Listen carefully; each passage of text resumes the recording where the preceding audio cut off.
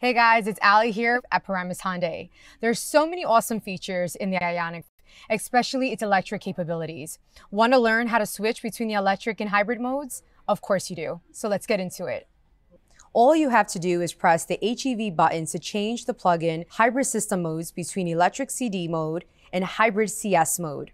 The CD charge depleting electric mode uses a high voltage hybrid battery to drive the vehicle. The CS charge sustaining hybrid mode uses a high voltage hybrid battery and gasoline to drive the vehicle. It's all available right here, right now at Paramus Hyundai.